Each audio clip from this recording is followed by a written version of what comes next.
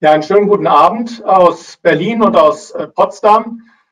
Mein Name ist Christoph von Marschall. Ich darf heute Abend diese Webinar moderieren mit der FDP-Generalsekretärin Linda Teuteberg und mit Wolfgang Ischinger, dem Vorsitzenden der Münchner Sicherheitskonferenz. Wir befinden uns an einem historischen Vorabend. Morgen vor 75 Jahren endete der Zweite Weltkrieg, nicht komplett, aber jedenfalls in Europa, schwiegen dann nach dem 8. Mai die Waffen. Im Pazifik dauerte es etwas länger und wir haben uns äh, zu diesem historischen Moment verabredet, über das Thema zu sprechen, ist der Westen am Ende oder vor einem Neuanfang? Und insbesondere, wie steht es um die internationale Politik in Zeiten der Corona-Krise, in Zeiten der Pandemie? Wir werden zunächst in diesem Format eine halbe Stunde unter uns diskutieren und Sie, die Zuhörer, haben aber die Möglichkeit, über die Chat-Funktion Fragen zu stellen. In der zweiten halben Stunde dieser insgesamt einstündigen Veranstaltung werden dann Ihre Fragen an mich weitergegeben auf technischem Wege und dann werden wir diese Fragen, so gut wir das können, beantworten. Und da wir weit über 300 Teilnehmer sind, bitte ich Sie schon um Verständnis, wenn nicht jede Frage individuell vorgelesen wird, aber wir werden das zu Themenkomplexen bündeln. Ja, wir sind am Vorabend des äh, 75. Jahrestags des Friedens äh, in Europa. Und Frau Teuteberg, ich würde gerne Sie und danach auch Wolfgang Ischinger fragen, wo stehen wir denn eigentlich mit dieser brisanten Frage, ist der Westen am Ende oder vor einem Neuanfang? Wenn Sie so die letzten Jahre oder meinetwegen auch Jahrzehnte äh, Ihrer politischen äh, Karriere, Ihres Lebens Revue passieren lassen, sind wir da eher an einem guten Punkt oder eher an einem schlechten Punkt, was die internationalen Beziehungen und die Rolle Deutschlands und Europas anbelangt?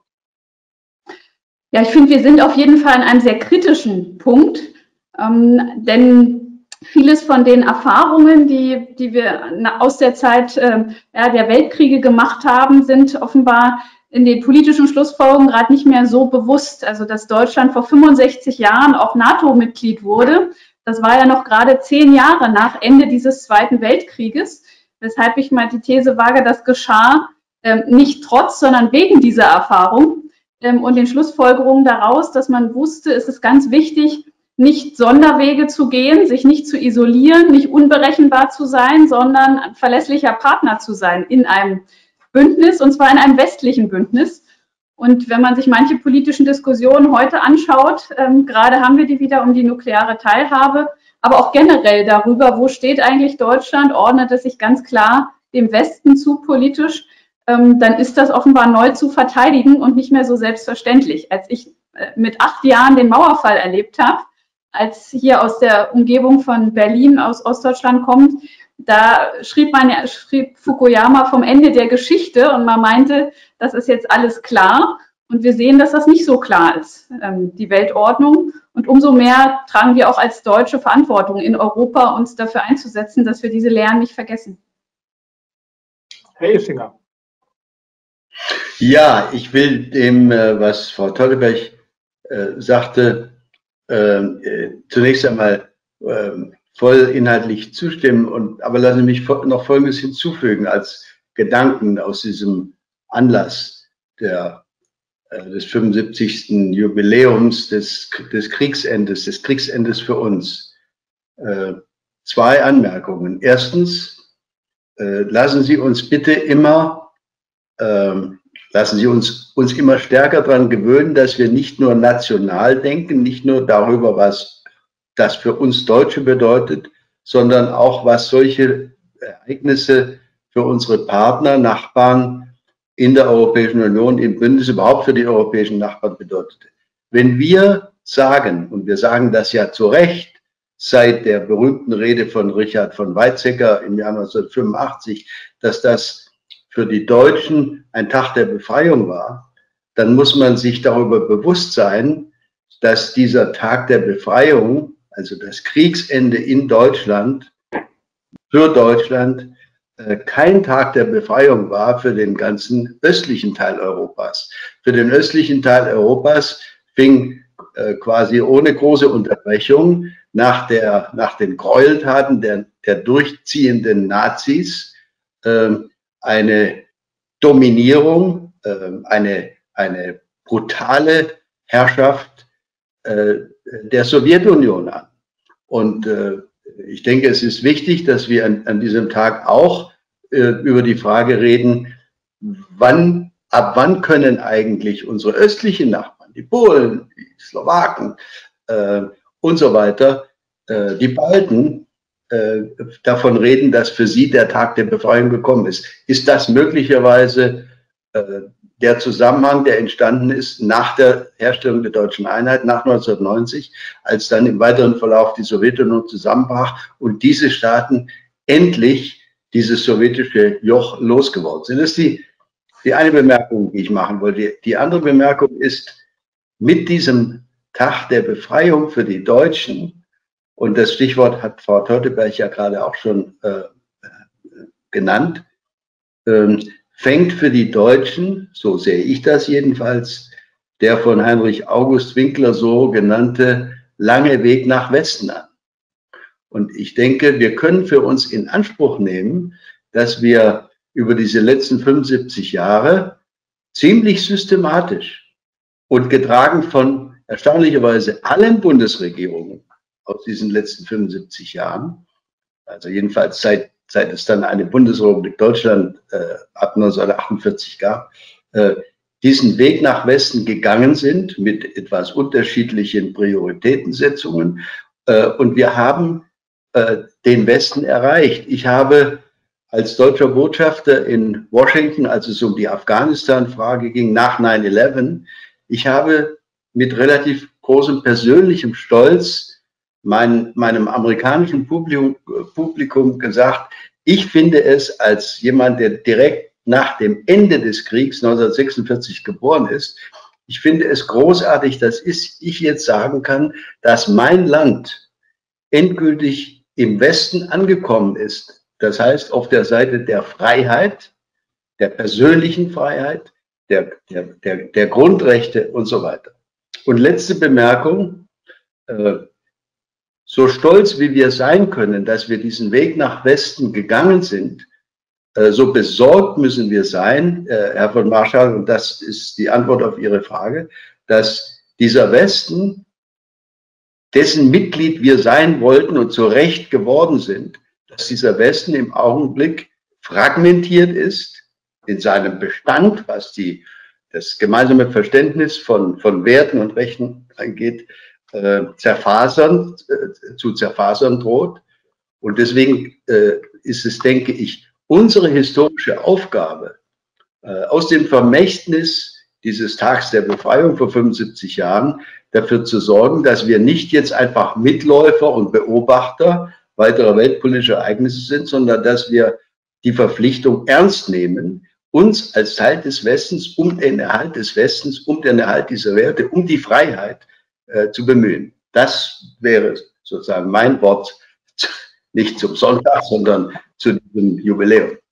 Da springen Sie ja schon mitten hinein, äh, gleich in das Dilemma, in, in, dem wir sind. Also wir sind nicht mehr in der glücklichen Situation von 1989. Äh, wir sollten im Blick behalten, dass nicht für alle schon die Situation vor 1989 so wunderbar war. Auf jeden Fall ist die Weltlage heute eine völlig andere, denn die Sowjetunion gibt es nicht mehr, aber auch Russland hat nicht die Rolle eingenommen, die die Sowjetunion in der Zeit vor 1989 dominierte. Wenn sitzt Europa, sitzt Deutschland heute zwischen Trumps Amerika und einem sehr autoritären China.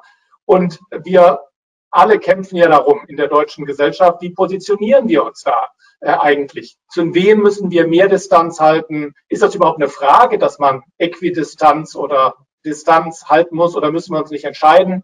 Matthias Döpfner, äh, der Vorsitzende des Springer-Konzerts, hat ja gerade in einem vielbeachteten Meinungsbeitrag geschrieben, wenn wir vor die Wahl gestellt würden, dann könnte sich Deutschland nur für die USA und nicht für China entscheiden, heute jedenfalls. Und weder Trumps Amerika noch China geht vorbildlich mit der Corona-Krise um. In Trumps Amerika ist es mehr eine Ignoranz gegenüber wissenschaftlichen Erkenntnissen und China, da haben wir alle den Verdacht, dass da auch kräftig gelogen wird, sowohl über die Ursachen der Krise wie über die Infizierten und die Todeszahlen. Also das vorausgeschickt. Frau Teuteberg, wo positionieren wir uns? Wo müssen wir uns positionieren? Gegen wen müssen wir uns im Moment, von wem müssen wir uns im Moment mehr distanzieren, äh, damit äh, Deutschland, aber auch Europa diese stärkere eigenständige Rolle spielen kann, die auch Wolfgang Ischinger angesprochen hat? Ja, ich finde, wir müssen ganz klar auch äh, zu unterscheiden äh, wissen zwischen einer aktuellen Regierung wie der äh, Trump-Administration in den USA und der Frage, wer sind unsere engsten Verbündeten und mit wem teilen wir Werte und auch ähm, Interessen und sind in einem Bündnis. Und da würde, ist für mich ganz klar, dass das die USA und auch andere westliche Demokratien sind. Äh, früher hat man da immer oft äh, sprichwörtlich gesagt, wen, wo ruft man an? In Washington, in Paris, in London und nicht in äh, Moskau. Ähm, und heute ist, es stellt sich einfach auch die Frage, wir müssen da aufpassen, genau nicht ähm, zum Beispiel zu behaupten, wir seien da irgendwo neutral oder andere sind Drittstaaten, sondern auch äh, natürlich solidarisch zu sein, auch mit anderen westlichen Demokratien, die unter Druck geraten. Das betrifft solche Aufklärungsfragen wie Flugzeugabstürze, da auch wo die Niederlande ihre Auseinandersetzung mit Russland haben, aber eben auch Australien jetzt, die die ganz legitime Aufklärung fordern, was ähm, die Frage des, des äh, Coronavirus angeht. Ähm, und da äh, müssen wir natürlich auch ähm, unsere Verbündeten unterstützen und nicht so tun, als seien wir Unbeteiligte. Ähm, Wenn ich da gleich einhaken ähm, darf, Australien, Australien sieht sich ja jetzt Sanktionsdrohungen Pekings ausgesetzt, nur weil es die Aufklärung äh, des, äh, der Entstehung des Coronavirus und wie es sich in die Welt ausbreitet, forderte. Mich erinnert das so ein bisschen an die Situation, als die kanadische Außenministerin Christia Freeland Saudi-Arabien wegen Menschenrechtsvergehen kritisierte, Saudi-Arabien Sanktionen verhängte und das, was Sie jetzt gerade fordern, nicht passiert. Damals hat sich Deutschland und die EU nicht an die Seite Kanadas gestellt. Würden Sie also fordern, dass in diesem Konflikt zwischen China und Australien Deutschland und Europa sich dezidiert an die Seite der westlichen Demokratie Australien und gegen die Sanktionsdrohung China stellen sollte? Ja, auf jeden Fall sollten wir eben auch übrigens die Aufklärung fordern. Äh, China kann und sollte dann auch zeigen, dass es äh, eine ernstzunehmende ähm, äh, Nation auf dieser Welt ist, ähm, seine Aufklärungspflichten auch nachzukommen und auch gegenüber der WHO und anderen Staaten ähm, hier aufzuklären und nicht zu blockieren. Das ist ganz wichtig. Und ich glaube, wo wir aufpassen müssen in dieser Auseinandersetzung auch zwischen ähm, dem Westen, zwischen liberalen Demokratien und Staaten wie China ist übrigens auch, dass wir ähm, die, die Macht der Bilder nicht unterschätzen und auch emotionale Faktoren. Wenn wir jetzt diese Frage sehen, auf die wir bestimmt nochmal zurückkommen, der Solidarität in Europa, dann gibt es ja offenbar eine Diskrepanz zwischen der tatsächlichen finanziellen und praktischen Hilfe, die auch europäische Staaten, zum Beispiel Italien, zugutekommen lassen und der Frage, wer inszeniert das gut? Wer hat die richtigen äh, Bilder von Lieferungen etwa? Ähm, und da ähm, stehen sozusagen die, die emotional wirkmächtigen Bilder von der Hilfe der europäischen Partner sind eher unterbelichtet im Verhältnis zur wirklichen Hilfe, während die ähm, ein paar Flüge und Lieferungen aus äh, Russland oder China medial sehr stark äh, inszeniert werden und gut ähm, offenbar emotional rüberkommen. Also da müssen wir, glaube ich, auch aufpassen, dass wir neben der ganz konkreten Hilfe und der seriösen äh, Politik darauf achten, wie können wir das auch äh, emotional äh, unterlegen, ähm, so dass es die Herzen der Menschen auch erreicht äh, in den Staaten, die wir für unsere Werte ähm, gewinnen wollen und wo wir die Solidarität auch ankommen lassen wollen. Herr Schinger.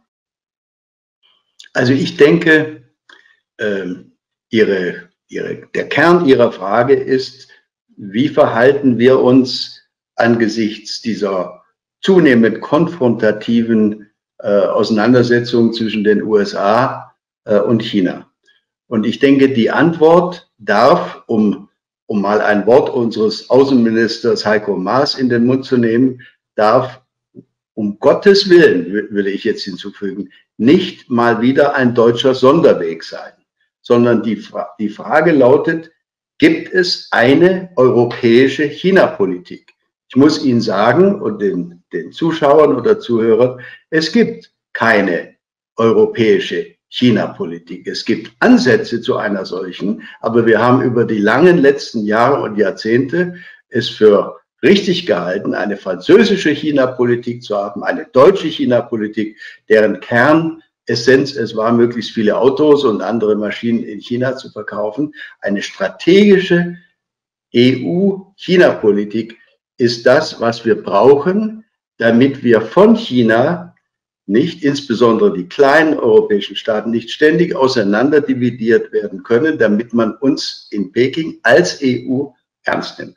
Das ist die Gestaltungsaufgabe, äh, die vor uns steht. Und ich hoffe sehr, dass es der deutschen EU-Ratspräsidentschaft im zweiten Halbjahr dieses Jahres gelingen wird, trotz der Prioritäten für die Corona-Krise etc., äh, dieses Thema des Umgangs mit China ins Zentrum oder jedenfalls mit ins Zentrum, mit in die Prioritätenliste, auf der Prioritätenliste äh, für diese Präsidentschaft zu halten. Denn ohne ein Europa, das mit einer Stimme gegenüber China spricht, können wir es vergessen, uns solidarisch mit Australien oder mit Kanada zu zeigen. Das wird in Peking nur dann ernst genommen werden, wenn wir sagen können, hier sprechen 450 Millionen Europäer, mit denen wollt ihr doch Handel treiben, mit denen wollt ihr Geschäfte machen.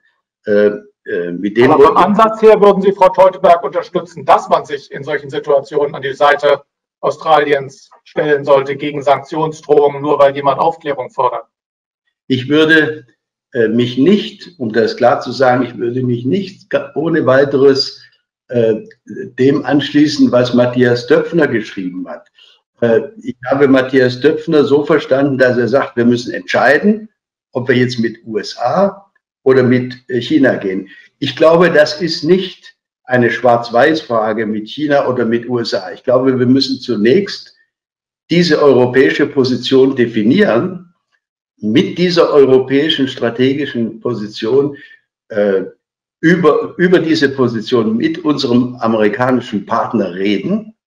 Es, ist, es kann nicht die Aufgabe Europas sein, sang- und klanglos und ohne Widerrede einfach die im Augenblick sehr konfrontative amerikanische China-Politik zu unserer eigenen Politik zu machen. Unsere Interessen gegenüber China sind nicht zwangsläufig identisch mit den amerikanischen Interessen. Aber vom Prinzip her äh, teile ich die Meinung, wir brauchen China gegenüber Standhaftigkeit und Klarheit.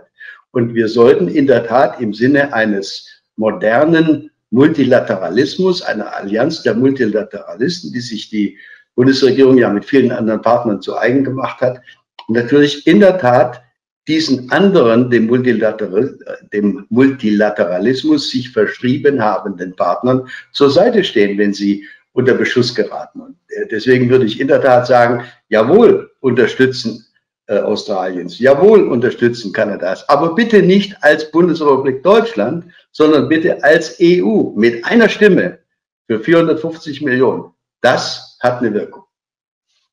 Damit sprechen Sie auch an, nicht? Also wenn man Europa als gesamte Binnenmarkt als gesamte Volkswirtschaft oder jedenfalls äh, ökonomischen Raum begreift, dann sind wir ja eigentlich vom Potenzial genauso stark wie die USA oder China. Aber merkwürdigerweise spielt Europa ja gar keine Rolle in dem Sinne, dass man sagt, da kämpfen drei große Wirtschaftsblöcke um ihre Attraktivität und ihre Vorbildrolle. Und man könnte ja durchaus fragen, ob Corona nicht ein Augenblick wäre, wo Europa mal nachweisen könnte, dass es sowohl besser als China als auch besser als die USA eine solche Krise managt. Und damit sind wir mitten in dieser Frage, die Linda Teuteberg schon angesprochen hatte. Wie solidarisch ist dieses Europa eigentlich? Wir haben ja sehr unterschiedliche Wahrnehmungen, aber auch entweder Lob oder Kritik. Auf der einen Seite sehen wir, dass zum Beispiel Deutschland in der Corona-Krise Patienten aus Frankreich, aus Italien in seinen Krankenhäusern versorgt. Auf der anderen Seite hören wir, dass Länder wie Italien den Eindruck haben, dass Deutschland nicht solidarisch genug sei. Auch natürlich das Urteil aus Karlsruhe zur EZB und den Anleihekäufen hat dazu beigetragen. Gleichzeitig wird enormes Geld ausgegeben über europäische Kassen, das zu einem Großteil von Deutschland kommt. Wie bewerten Sie das, diese Gesamtschau? Wie ist das? Äh, reichen, sind das nur symbolische Gesten und am Ende hält Deutschland die Taschen zu? Oder ist das eine unfaire Kritik? Wie ist aus Ihrer Sicht Solidarität oder Mangel an Solidarität im Moment in Europa verteilt? Und wie wirkt sich das auf das Bild von Europa in dieser Krise aus, auch im Wettlauf mit USA und China? Frau Teuteberg, wollen Sie wieder anfangen? Gern.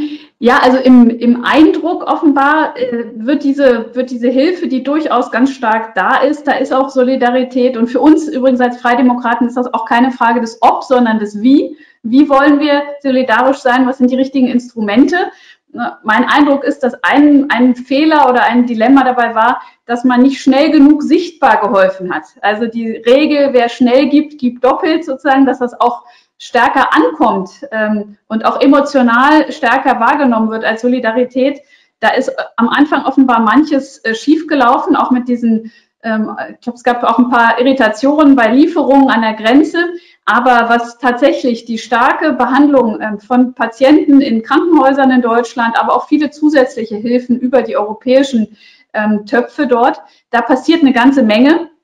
Äh, für uns äh, gilt allerdings auch, wir haben keine Bondspflicht, um solidarisch zu sein. Äh, Corona sollte nicht der Einstieg sein, darin jetzt falsche Anreize zu setzen für eine dauerhafte gesamtschuldnerische Haftung und ähm, eine dauerhafte Überschuldung wieder Europas. Da sollten wir auch aus der Finanzkrise gelernt haben.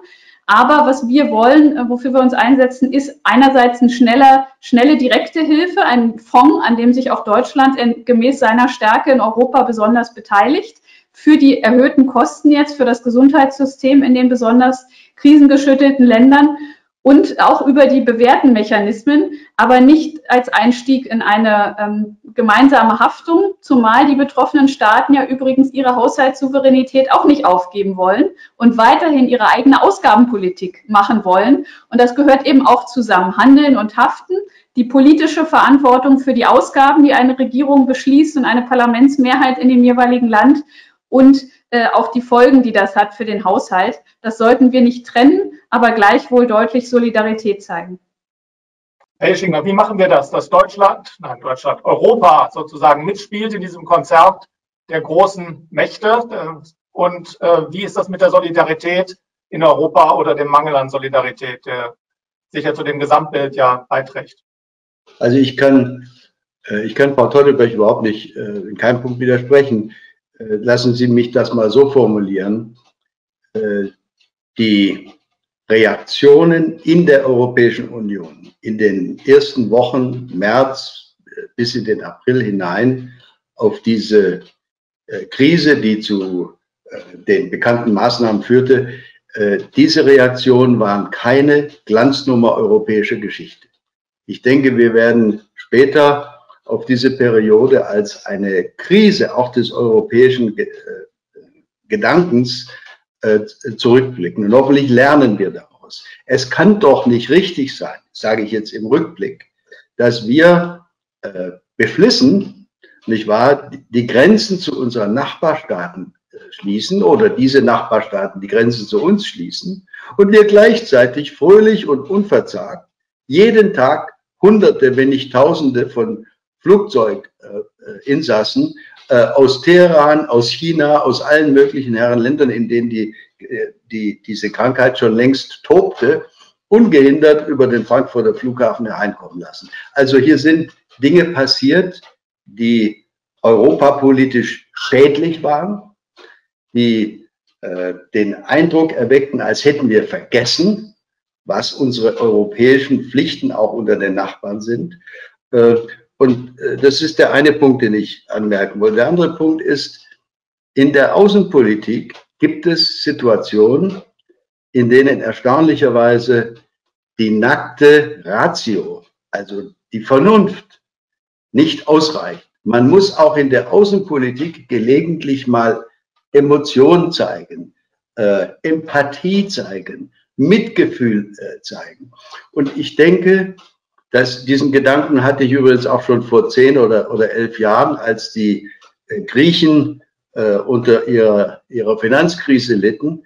Ich habe mich damals schon gefragt, wäre jetzt nicht eigentlich ein Punkt gekommen, wo jemand aus der deutschen Führung, der Bundespräsident, der Bundestagspräsident, ein Minister oder die Bundeskanzlerin mal nach Griechenland fliegt und im griechischen Parlament den Griechen sagt, We stand by you. Wir stehen euch bei, denn wir sind eure Partner. Und genauso hat es mich eigentlich verdutzt, dass während wir jeden Abend die Bilder aus Bergamo äh, sahen, erfreulicherweise sind dann ja, wie Frau Teuteberg völlig zu Recht sagte, sind dann ja erhebliche Hilfs- und Unterstützungsleistungen angelaufen. Aber ich denke, nicht wahr, äh, das ist jetzt Manöverkritik, äh, ich denke, für künftige solche Situationen müsste man sich vornehmen, dass man als Partner da auch mal hinfährt und eine Rede hält. im italienischen Parlament oder vor der italienischen äh, äh, oder spanischen Öffentlichkeit, um Partnerschaft und Anteilnahme äh, zu zeigen. Ich denke, das sind Lehren, die zum sozusagen äh, an, an, diesem, an diesem Tag, an dem wir hier reden, 75 Jahre nach Kriegsende, auch zu den Lehren gehören. Wir haben als Deutsche in den Jahren nach dem äh, Kriegsende von vielen unserer Partner, übrigens auch von den amerikanischen Partnern, viel Empathie, viel Anteilnahme und Mitgefühl und viel Bereitschaft empfangen, äh, wieder zugehörig sein zu dürfen, wieder dabei sein zu dürfen, nachdem wir ja äh, äh, sozusagen, nachdem wir die Verbrechernation waren. Und ich denke, das sind Lektionen und, und Lehren, die wir hoffentlich in der Zukunft noch etwas eleganter wahrnehmen können, als es in diesem Frühjahr, im März, April möglich gewesen ist. An einem Thema kommen wir nicht äh, vorbei. Ich muss Sie aber um etwas kürzere Antworten bitten, damit wir mit unserem Zeitrahmen äh, klarkommen. Das ist natürlich die Frage nach der Verteidigungspolitik, nach der nuklearen Teilhabe. Äh, die werden wir nicht im Detail diskutieren. Das ist viel zu kompliziert für, für dieses äh, Format und der Forderung des SPD-Fraktionschefs Münzenich nach einem Abzug der amerikanischen äh, Atomwaffen aus Deutschland. Ähm, wie stehen Sie dazu? Und ich werfe auch gleich noch ein, das Thema hat ja eine gewisse Rolle schon in den letzten Tagen in Kommentaren gespielt. Ich habe auch Leserbriefe bekommen von Menschen, die sich als FDP-nah bezeichnen, keine große Sympathie für Herrn Mützenich jetzt direkt als Person oder seine Partei geäußert haben, aber gesagt haben, es gab doch da auch mal einen FDP-Außenminister, der diesen Abzug äh, der amerikanischen Atomwaffen gefordert hat, jedenfalls als Wahlkämpfer noch, Guido Westerwelle. Wie das dann als Außenminister war, nach meiner Erinnerung, hat das dann nicht mehr gefordert. Aber vielleicht steckt da ja noch ein Thema drin. Frau Teuteberg, wo stehen Sie äh, da zu, dem, zu der Forderung Abzug aller US-Atomwaffen aus Deutschland? Und zwar jetzt nicht in Form eines Abrüstungsgeschäfts mit Russland, sondern das hat er ja als ähm, einseitige Maßnahme gefordert, Herr Mützenich. Hm. Eine einseitige Maßnahmen, Alleingänge, deutsche Sonderwege kommen für uns nicht in Betracht. Wir Freidemokraten ähm, stehen da ganz klar zu unserer zu unseren Bündnispflichten in der NATO und dazu, dass wir gemeinsam äh, Sicherheit und Frieden gewährleisten wollen. Und wir äh, haben sehr wohl ähm, einen Ehrgeiz, uns für Abrüstung einzusetzen, aber innerhalb der NATO, nicht durch Aufkündigung Kündigen von Verpflichtungen. Und zur Mitsprache innerhalb der NATO gehört eben auch, ähm, sich zu beteiligen. Und äh, als die ja, größte, wirtschaftlich stärkste Nation in Europa sind wir natürlich und innerhalb der NATO, äh, bei den europäischen NATO-Partnern, haben wir da auch eine besondere Verantwortung und können uns nicht, so wie es Herr Mützenich und andere tun, natürlich vergleichen mit manchen NATO-Mitgliedern, die jetzt gerade nicht beteiligt sind an der nuklearen Teilhabe, sondern das wäre ein fatales Signal, wenn wir als Deutsche jedenfalls sagen, wir äh, kündigen einfach etwas einseitig auf. Ähm, wir wollen uns für Abrüstung einsetzen. Das ist in den letzten Jahren nicht einfacher geworden in dem internationalen Umfeld mit dem ähm, Auslaufen des INF-Vertrages, dem, was auch Russland in diesem Bereich tut.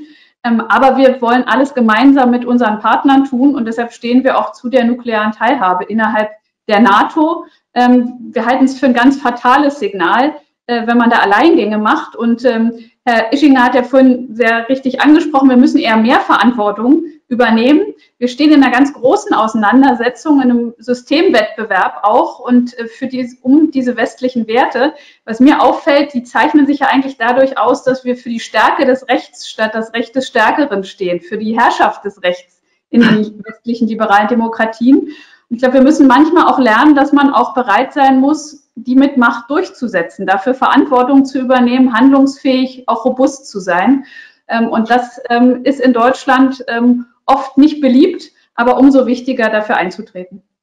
Herr Ischinger, Sie haben ja erstens äh, das, äh, die Stellungnahmen von Guido Westerwelle sehr persönlich miterlebt, weil Sie ja selber als hoher deutscher Diplomat äh, nun seit Jahren im Auswärtigen Amt waren. Und zweitens, Sie haben ja sich auch selber persönlich der Initiative Global Zero angeschlossen, also dem Ziel einer atomwaffenfreien Welt. Also wie schauen Sie jetzt auf diese Mützenich-Forderung und äh, in dieser Situation 2020?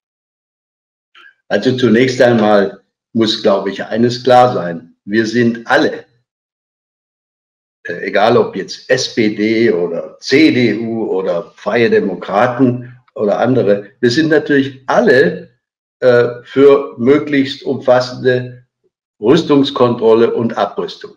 Niemand hat ein Interesse an nuklearer Konfrontation. Äh, ich selbst habe es für mich persönlich für richtig gehalten, in dem Jahr, in dem ich aus dem aktiven Dienst äh, der Bundesregierung ausgeschieden bin, 2009, genau das Gleiche zu machen, was damals Hans-Dietrich Genscher, Helmut Schmidt, Henry Kissinger und andere gemacht haben, nämlich für, für massive Abrüstungsschritte zu plädieren. Nur das war im Jahre 2009. Da hatte gerade der Präsident Obama gesagt, dass er für eine atomwaffenfreie Welt eintritt. Da war gerade der Anstoß gegeben worden, übrigens auf dem Parkett der Münchner Sicherheitskonferenz durch den damaligen Vizepräsident Joe Biden gemeinsam mit Sergei Lavrov, äh, äh die, die New Start Verhandlungen, also die strategischen Verhandlungen äh, anzupacken. Und es war eine Stimmung bei uns in der NATO, aber auch auf russischer Seite. Wir können jetzt Abrüstung auf breiter Front anpacken. Das war die Situation des Jahres 2009. Die Situation des Jahres 2020 ist eine völlig andere. Äh, wir dürfen nicht vergessen, dass seit nunmehr sechs Jahren, ja fast genau vor sechs Jahren, es die russische Seite war, die die europäische Sicherheitsordnung, von der wir geglaubt hatten, sie sei etabliert seit 1990, seit der Charta von Paris, durch, den, durch die Annexion der Krim und durch die Intervention äh, in der Ostukraine zerstört haben. Äh, Vertrauen zwischen West und Ost ist am Nullpunkt angelangt ab 2014. Und es ist nicht gelungen, das seither wieder aufzubauen, weil es auch auf russischer Seite 0,0 Bewegungsangebote äh, gab, weder in der Abrüstung noch in der Ukraine-Krise. Jetzt ein Signal zu setzen, dass wir aus deutschen Gründen äh, diese amerikanischen Nuklearwaffen, über deren militärischen Sinn man lange diskutieren kann. Man kann auch äh, hochintelligent darüber diskutieren, ob es nicht bessere Methoden gäbe, nukleare Teilhabe darzustellen. Aber im Augenblick haben wir nur diese Form der nuklearen Teilhabe. Das jetzt abschaffen zu wollen, das wirft doch die Frage auf, haben wir vergessen, dass wir in einem Bündnis sind? Haben wir vergessen, dass wir auch ein Solidaritätsversprechen unseren polnischen äh, und baltischen Nachbarn gegenüber haben, haben wir vergessen, wie sowas in Moskau ankommt? Das ist doch nichts anderes, wenn es geschehen würde, als eine äh, Maßnahme der eigenen Schwächung. Äh, das ist eine Maßnahme, die in Moskau verstanden werden muss als äh, eine Selbstschwächung des nordatlantischen Bündnisses und damit die Erhöhung, nicht die Reduzierung von Gefahren militärischer äh, Abenteuerlust. Abschreckung wirkt immer im Kopf des Abzuschreckenden. Nur wenn der Abzuschreckende der Meinung ist, dass er tatsächlich mit dem größten und schlimmsten Übel tatsächlich zu rechnen hat, wirkt Abschreckung. Und äh, der Mützenich-Vorschlag äh, hätte, wenn er von der Bundesregierung akzeptiert worden wäre, ist er zum Glück abgelehnt worden, äh, hätte leider aus meiner Sicht eine völlig falsche, nämlich missliche und schwäch, uns schwächende Lage herbeigeführt. Äh, trotzdem, lassen Sie mich das noch, noch mal hinzufügen, trotzdem ist es richtig, wenn sich die politisch Verantwortlichen in Deutschland, aber auch einschließlich der Oppositionsparteien wie die Freien Demokraten, um alle Möglichkeiten bemühen, Abrüstungs- und Rüstungskontrollprozesse wieder in Gang zu setzen. Es muss das zentrale Interesse eines nicht-nuklearen Landes wie Deutschland sein, den äh, Nichtverbreitungsvertrag, das Nichtverbreitungssystem zu stärken, es nicht zu schwächen. Wir wollen keine weiteren nuklearen Staaten. Deswegen haben wir auch zwölf Jahre lang mit dem Iran verhandelt äh, und so weiter. Also das ist ein wichtiges Thema und es geht nicht um Deutschland, sondern es geht um den Multilateralismus, es geht um die, den Zusammenhalt mit unseren Partnern, es geht um Solidarität auch, äh, auch innerhalb der Europäischen Union. Damit sind wir bei Ihrem vorigen Stichwort wieder angelangt. Ja, also ich fasse das zusammen. Äh, wir sind alle für Abrüstung, aber es muss sozusagen in einem Gegengeschäft äh, sein und auch unter Berücksichtigung der Bedrohung, denen sich Deutschland äh, gegenüber sieht. Und als muss ja auch noch China mit einbeziehen, denn das ist ja mit ein Grund, dass die russisch-amerikanischen Atomwaffen und Abrüstungsverträge China nicht binden und deswegen die beiden kein großes Interesse haben, da noch weiter in Vorleistung zu gehen. Aber ich, wir sind schon längst äh, eigentlich zeitlich in der zweiten Hälfte angelangt und wir wollen natürlich auch jetzt die Fragen der Zuhörer äh, äh, hier vorbringen und dann Sie bitten, die zu beantworten. Eine ist auch gleich äh, zu, der, äh, zu den Atomwaffen. Ich werde jetzt mehrere Fragen vorlesen und Sie dann bitten, äh, zu, soweit Sie wollen, darauf einzugehen. Sie müssen auch nicht beide immer dieselbe Frage beantworten, sondern können äh, das ein bisschen arbeitsteilig tun. Also Benedikt Maasberg fragt zu den Atomwaffen und die Frage richtet sich an Herrn Ischinger. Wären französische Atomwaffen in Europa nicht auch sinnvoll? Also kann sozusagen die Abschreckung, so verstehe ich das, statt von den Amerikanern, von den Franzosen in einer innereuropäischen ähm, äh, Sache geleistet werden. Dann gibt es viele Fragen zur Europäischen Union und der China-Politik. Zum Beispiel sagt, äh, fragt Marvin Rubin, woran liegt es, dass die EU keinen gemeinsamen Kurs gegenüber China entwickelt? Ist dort nicht auch die Bundesregierung gefordert, um diesen gemeinsamen Kurs anzustoßen? Es gibt ja bereits EU-Staaten, die sehr abhängig von China sind, Griechenland, Italien. Man könnte natürlich auch vor allem noch Polen und äh, südöstliche Länder nennen. Ähm, und dann fragt auch Jens Gauer, wie realistisch ist denn derzeit in einem zersplitterten Europa von 27 Mitgliedern eine gemeinsame europäische Außenpolitik? Ist eine Art autoritärer Kapitalismus wie in Asien da nicht grundlegend im Vorteil? Da sind wir noch bei der Frage der Attraktivität anderer Gesellschaftsmodelle, ob die als effektiver ähm, äh, sind. Dasselbe wird auch gefragt ähm, nach dem Nahen Osten. Aber ich lasse es jetzt mal bei der direkten Abrüstungsfrage französischer Atomwaffen an Herrn Ischinger und an Sie beide ähm, nochmal einzugehen darum, wie realistisch das ist mit dem gemeinsamen Kurs gegenüber China. Und ähm, ja, äh, Herr Ischinger, fangen Sie schnell, damit wir bei dem Thema Abrüstung nochmal kurz bleiben oder Atomwaffen bleiben, sagen Sie kurz was zu den französischen Atomwaffen und dann Sie beide, aber mehr Frau Teuteberg, etwas zu der gemeinsamen China-Politik und woran die bisher scheitert. Also interessanterweise, ist ja eine wirklich hochinteressante Frage. Interessanterweise hat Emmanuel Macron, der französische Präsident, äh, zuletzt bei der Münchner Sicherheitskonferenz im Februar dieses Jahres äh, die europäischen Partner, einschließlich natürlich Deutschland, eingeladen, in einen strategischen, in ein strategisches Gespräch mit Frankreich einzutreten über äh, das nukleare, militärische nukleare Thema. Er hat insbesondere auch angeboten, dass äh, Partnerstaaten wie, wie wir uns an französischen Übungen, militärischen Übungen, Manöver würde man sagen, äh, das sind ja simulierte Manöver, äh, in diesem Bereich beteiligen können. Das ist ein wichtiger, bisher nicht dagewesener französischer Schritt, ein wichtiges Angebot. Ich hoffe, würde mir wünschen, dass es von der Bundesregierung und von anderen Partnern aufgenommen wird und äh, es wäre schön, wenn sich daraus eine, äh, ein Prozess entwickeln könnte, bei dem man in der Tat über die Frage diskutieren könnte, könnten eventuell, könnte eventuell das französische nukleare Potenzial äh, stärker, eine stärkere Wirkung entfalten, in dem Maße, in dem wir eine europäische Verteidigungsunion zu bauen im Begriff sind. Das versuchen wir ja. Nur, letzter Satz, das ist natürlich alles heute im Frühjahr 2020 Zukunftsmusik. Das ist nichts, womit ich irgendjemanden abschrecken kann. Das sind äh, interessante theoretische Überlegungen. Und sie können äh, nicht in diesem Jahr und auch nicht im übernächsten Jahr die, den nuklearen Schirm, den wir qua NATO haben, qua USA haben, in irgendeiner Weise ersetzen. Also ja, ich finde, wir sollten dieses Diskussionsangebot mit Frankreich aufgreifen. Aber nein, das kann jetzt die existierenden Abschreckungsmechanismen im Bündnis in keiner Weise ersetzen und auch nicht in absehbarer Zeit. Solche Prozesse sind sehr, sehr komplex und schwierig. Das, das wird in jedem Fall, selbst wenn wir da aktiv rangehen, Jahre, Jahre dauern. Und wenn ich mir dann das auf der Zeitschiene noch die Agent, dann ist es auch keine Antwort auf Trumps Amerika, denn bis so etwas sozusagen realistisch würde, ist Trump bestimmt nicht mehr Präsident, egal ob es noch ein paar Monate oder vier Jahre dauert.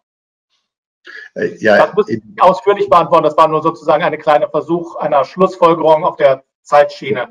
Lassen Sie uns, lassen Sie uns, denn äh, das wird ja damit auch immer wieder begründet. Wir müssten uns von Trump unabhängig machen, also mehr von Trump als von Amerika. Lassen Sie uns äh, zu China kommen. Also diese beiden äh, Aspekte. Wie realistisch ist die gemeinsame Antwort der Europäer?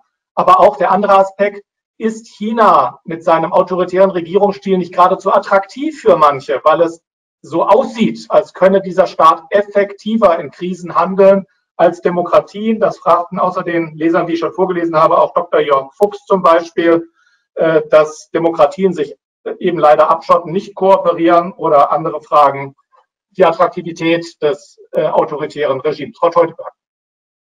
Ja, zum einen, wir brauchen unbedingt eine gemeinsame europäische Asienstrategie. Dass es die noch so noch nicht gibt, ist, ist ein großes Problem, ist ein Versäumnis. Ähm, offenbar ist immer noch in vielen Bereichen ähm, die Vorstellung da gewesen, auch in Mitgliedstaaten, dass man sich da lieber seine eigene Außenpolitik macht. Wir können aber nur gemeinsam als Europäer dieses Gewicht auch auf die Waage bringen, außenpolitisch, das wir ja haben. Und ähm, auf, äh, auch wirtschaftlich zum Beispiel als Wirtschaftsraum. Ähm, dafür gibt es viele Beispiele. Ähm, wir haben ja auch dieses, dieses, Thema kritische Infrastrukturen. Wir hatten vor einigen Monaten stärker in Deutschland die Diskussion um das 5G-Netz und Huawei. Im Moment werden da Fakten geschaffen, denn das Thema ist immer noch nicht geregelt in Deutschland und gleichzeitig werden offenbar schon Komponenten von Huawei verbaut bei der Telekom. Wir führen diese Diskussion nicht stringent genug und wir haben in Europa noch nicht die gemeinsame Strategie gegenüber China. Ähm, das brauchen wir unbedingt. Ähm, auch gemeinsame Beschaffung, Verteidigung, äh, da ist sehr viel mehr abzustimmen in Europa, damit man auch gemeinsam handlungsfähig ist. Ähm, und äh, diesen Systemwettbewerb, den müssen wir allerdings wirklich als Herausforderung annehmen, was Sie ansprechen, diese vermeintliche Attraktivität oder die faktische Attraktivität, die aber auch natürlich darauf beruht, dass Systeme wie China viele, viele Informationen unterdrücken, dass, dass es dort ähm, zum Beispiel Rechtsschutz nicht in dem Maße gibt wie bei uns, was übrigens ja manche in der Wirtschaft auch erstmal faszinierend fanden, solange es für ihre Investitionen zunächst mal vorteilhaft ist, dass manche Dinge schnell gehen, nicht solche Planungsverfahren, Rechtsschutz Betroffener da sind wie in Deutschland. Es kann sich aber sehr schnell umkehren, wenn man davon betroffen ist, auch von staatlicher Willkür, von Unsicherheit von rechtlichen Bedingungen, äh, von Investitionen. Und ähm, das müssen wir sehr entschieden annehmen, auch die Vorteile unseres Systems herauszustellen. Ich finde, das stellt übrigens auch an unsere Medienkompetenz und Debattenfähigkeit manche Anforderungen, weil ähm, bei uns wird ja, was zu den Stärken des liberalen Systems gehört, über Probleme, über Schwierigkeiten offen berichtet. In freier Diskussion, in freier Presse. Das ist in solchen Systemen nicht so. Und ähm, das stellt dann uns aber auch die Aufgabe, Kritik richtig einzuordnen und nicht auch manchmal unser System schlechter dastehen zu lassen, als es ist, äh, einfach nur weil offener gesprochen wird über manche Probleme, aber die realen Verhältnisse in autoritären Staaten längst nicht besser sind, auch wenn die Propaganda das Glauben macht. Ähm, das ist auch eine Verantwortung, mit den Informationen da richtig umzugehen. Ich bin sicher, Herr Ischinger, Sie wollen dazu auch noch was sagen. Ich werfe nur noch auch wieder ein paar Zuschriften hinein. Ähm, Herr Ischinger, ist das dauerhafte Trump-Bashing, das vom Niveau her kaum besser ist als das von Trumps Tweets selber, nicht sehr, sehr schädlich? fragt Christoph Rode. Und äh, es sind, kommen auch weitere Fragen eben, warum ist China so attraktiv und müsste nicht auch Europa einen Weg finden? Also wenn wir denn glauben, wie Frau Teuteberg das argumentiert hat, dass die offene Gesellschaft eigentlich die bessere und auch die leistungsfähige Gesellschaft ist, wie kann man das in der Öffentlichkeit auch darstellen? Müssen wir einfach auch besser kommunizieren? Sie haben ja vorhin schon mal darüber gesprochen, dass vergleichsweise kleine Lieferungen von Atemschutzmasken aus China und Russland ein riesen diplomatischer Erfolg für diese Länder sind, aber das, was in Europa an Hilfe geleistet wird, gar nicht so wahrgenommen wird. Ist das nicht auch ein Kommunikationsfehler?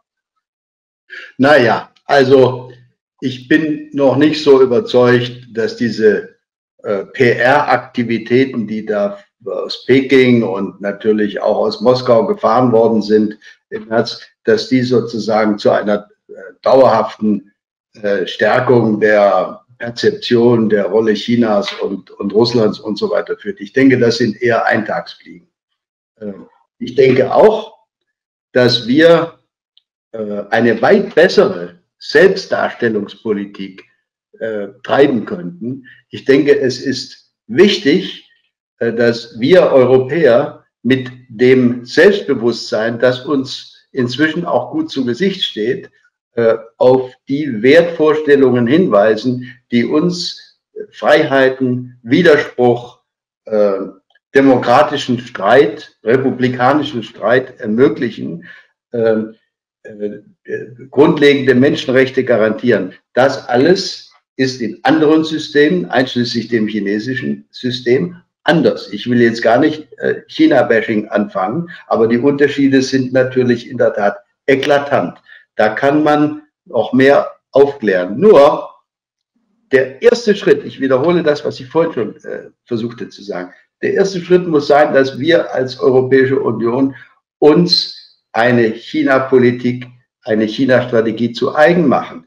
Die Europäische Kommission hat im Frühjahr des letzten Jahres einen ersten Aufschlag produziert. Ein längeres Papier, ich glaube, es waren etwa 12 oder 14 Seiten, in dem tatsächlich gesagt wurde, wir haben es hier ja nicht mit einem normalen Partner zu tun, sondern mit einem systemischen Rivalen, weil jede chinesische Firma, die hier in Europa agiert, äh, natürlich nicht einfach irgendeine private Firma ist, sondern eine Firma, die der Kontrolle der Partei und der Aufsicht durch die Partei und ihrer äh, politischen Zielsetzungen unterliegt. Das ist einfach, einfach a different animal, würden die Amerikaner sagen.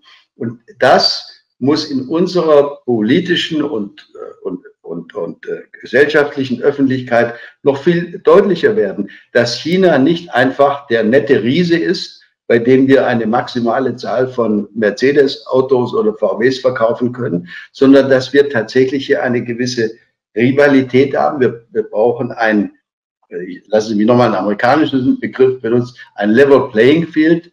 Äh, das ist ja das, was die Bundeskanzlerin auch versucht hat und hoffentlich auch umsetzen kann, als sie für Leipzig im Herbst dieses Jahres, im September, während unserer Präsidentschaft, eine große EU China-Investitionskonferenz auf die Beine stellen wollte. Man kann nur sich wünschen, dass die tatsächlich stattfinden kann, weil das helfen könnte, dieses Level Playing Field, also das, den, den Umgang auf Augenhöhe äh, herzustellen.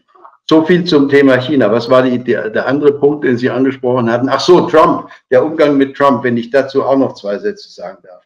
In der Tat äh, dürfen wir uns nicht äh, Holmen mit unseren politischen Energien, indem wir uns ständig aufregen, äh, meistens negativ aufregen über irgendwelche Äußerungen oder politischen Aktionen des amerikanischen Präsidenten.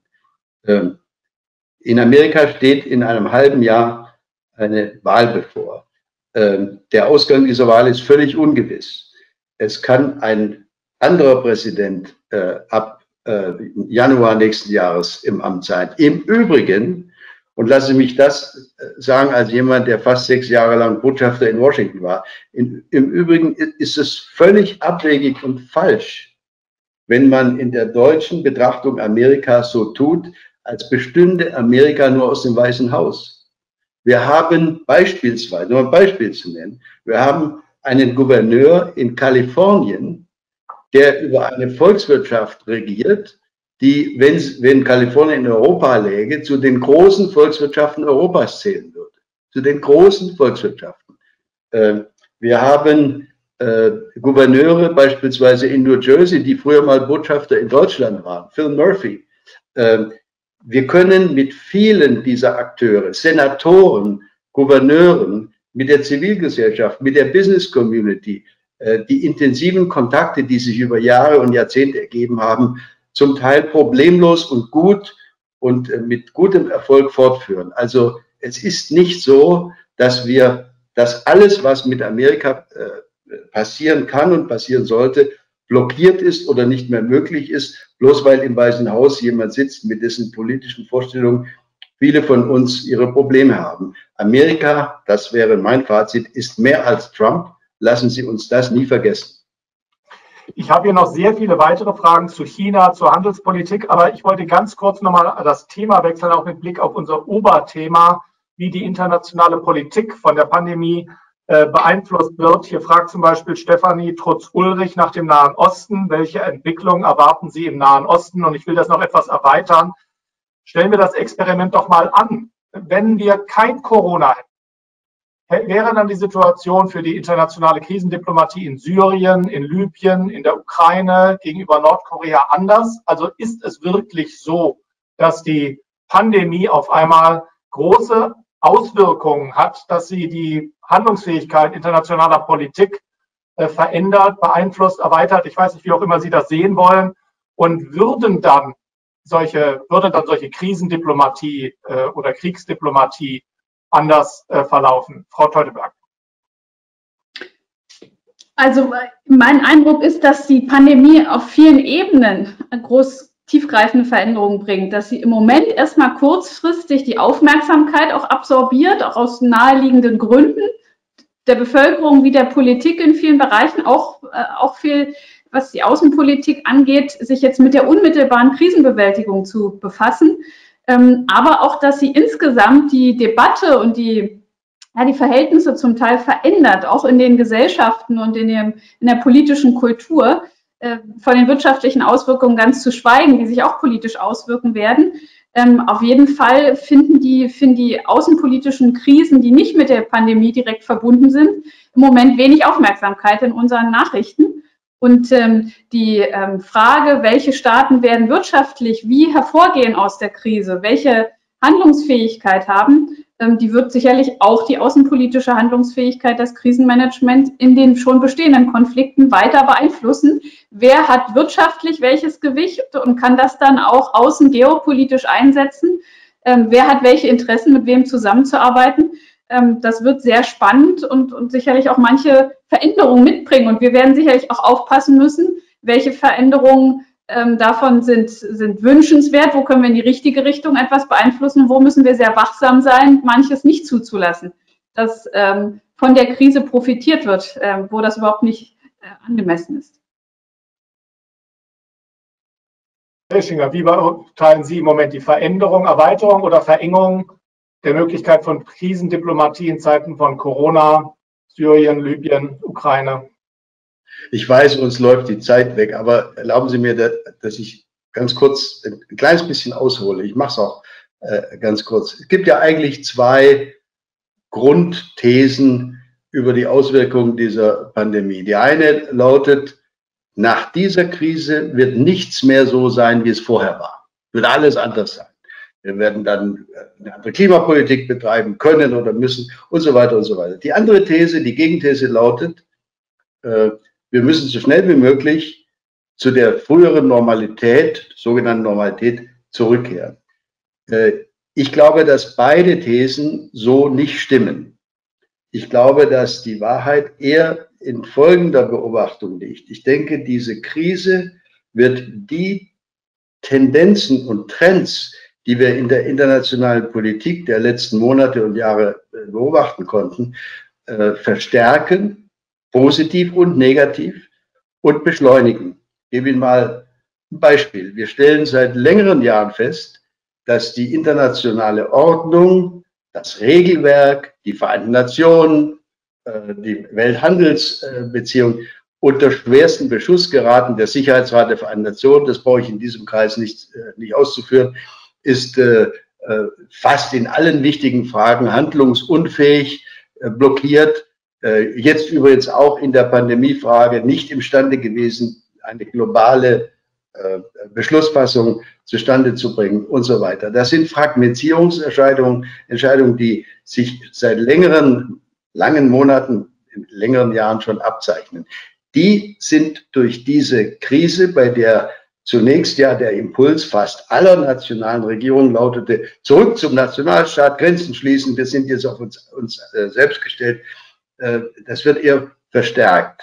Die Gegenthese lautet, die Gegenthese lautet, ähm, äh, warum werden durch trotz dieser Fragmentierung, äh, und das wäre meine Antwort auf Ihre Frage, die aktuellen Krisen möglicherweise nicht weiter angefacht.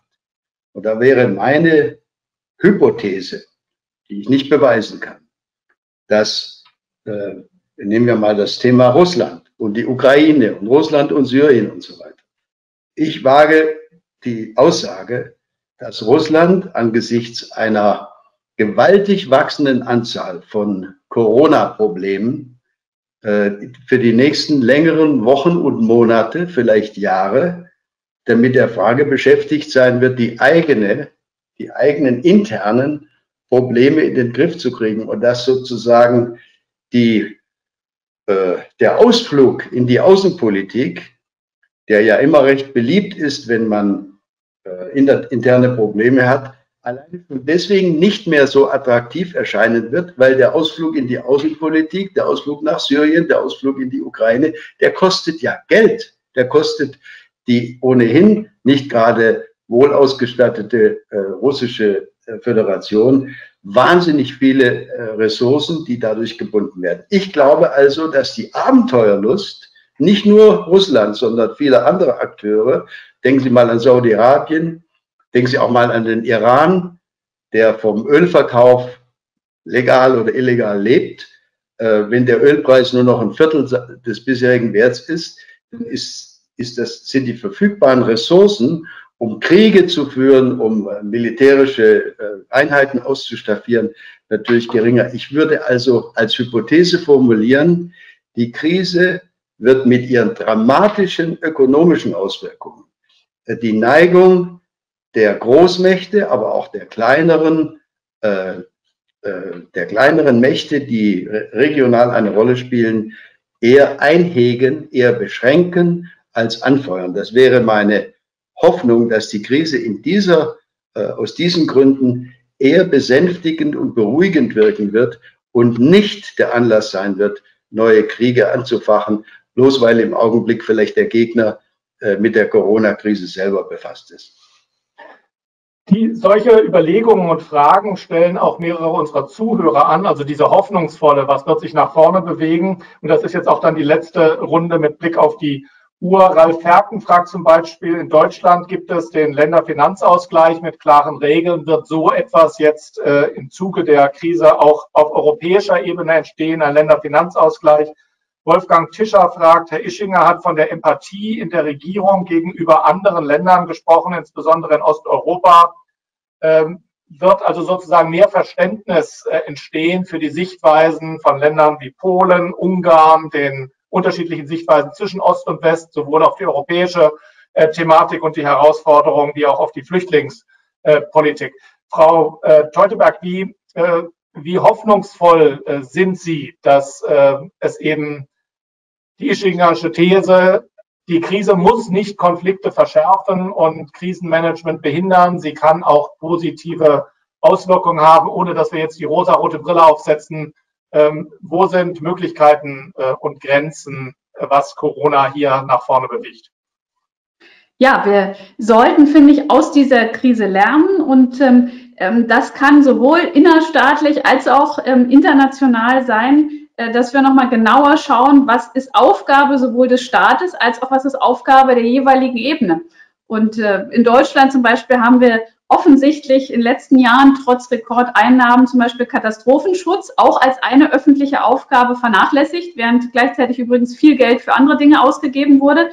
Und in Europa haben wir eben manche Dinge, Sie haben vorhin das Thema Asienstrategie angesprochen, aber auch gemeinsame Verteidigung, die eigentlich großen Aufgaben, für die auch Europa ähm, sinnvollerweise zuständig ist, die wir gemeinsam besser regeln können ähm, über den Nationalstaat hinaus als auf nationaler oder gar regionaler Ebene, dass wir uns darauf stärker besinnen und dort auch handlungsfähiger werden. Ich finde, das wäre eine gute, sinnvolle ähm, Lektion, die wir daraus lernen könnten äh, aus dieser Krise, dass wir sowohl im eigenen Staat als auch auf internationaler und europäischer Ebene nochmal genauer definieren, was sind die gemeinsamen Aufgaben und wer hat welche Aufgabe zu leisten und dafür auch die Ressourcen und die Verantwortung aufzubringen.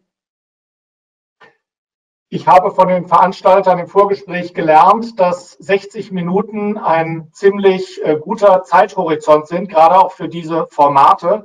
Ich bitte alle diejenigen um Verständnis, die mir noch Fragen eingesandt haben. Es sind eine ganze Menge zu verschiedenen Themen. Wenn sie jetzt nicht alle namentlich vorgelesen wurden und beantwortet werden konnten, aber sie, diese Fragen kreisen alle im Wesentlichen um dieselben Themen.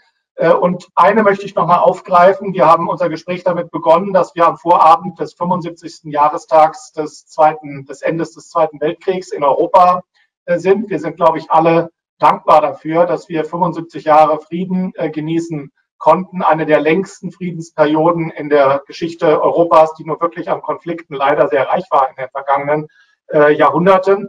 Äh, das bedeutet äh, nicht, dass überall eitel Sonnenschein herrscht. Wir werden in den nächsten Tagen erleben, dass zum Beispiel in Berlin die Ukrainer an einer Stelle des Endes des Weltkrieges am 8. Mai gedenken und die Russen an einer anderen Stelle Berlins am 9. Mai dieses Weltkrieges gedenken, obwohl sie beide, die Vorfahren beider dieser heutigen Gedenker, damals in derselben Roten Armee gegen Hitler gekämpft haben. Also da bleiben noch viele Aufgaben. Gerade der Erinnerung an den Krieg äh, erinnert uns noch einmal daran, äh, welche Verantwortung damit verbunden ist. Ich danke Linda Teuteberg, der FDP-Generalsekretärin. Ich danke Wolfgang Ischinger, dem Vorsitzenden der Münchner Sicherheitskonferenz, für diesen Gedankenaustausch. Ich danke Ihnen allen, die Sie aus Ihren Wohnzimmern, Arbeitszimmern äh, sich die Zeit genommen haben, uns hier zuzuschauen, an der Debatte teilzunehmen mit Ihren Fragen. Es waren über 300 Menschen. Das ist ein gutes Signal Bitte schauen Sie weiter wohlwollend, wenn es Ihnen Spaß gemacht hat, auf die Einladung der FDP und auch der Friedrich-Naumann-Stiftung. Und ich hoffe, dass wir uns bei der einen oder anderen Gelegenheiten auch hier wiedersehen können, zunächst digital und in einer hoffentlich nicht zu fernen Zukunft auch wieder ganz persönlich in den gewohnten Gesprächsformaten. Ich wünsche Ihnen allen einen friedvollen, einen guten, einen erholsamen Abend und bis bald. Danke Ihnen, auf bald. Danke, auf Wiederhören. Danke, tschüss. Tschüss.